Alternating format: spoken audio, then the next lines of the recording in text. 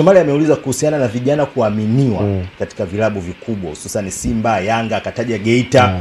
Ah, Je, anasema kwamba eh, yani kwamba kunaweza kuendeleza vilabu hivi vya vya Tanzania kuleta ule sasa uweledi zaidi.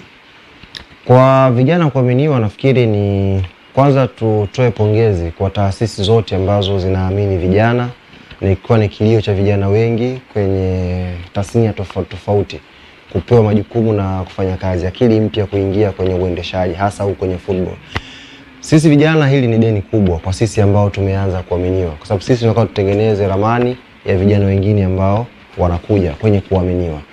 Si jukumu jepesi, ni jukumu gumu kwa sababu ya ukubwa wa taasisi zenyewe na sisi uzoefu na age na pressure ambayo unakutana nayo. Unajua pressure ya Africans ni pressure ambayo unaipata kwenye media houses, ni tofauti. Kwa hiyo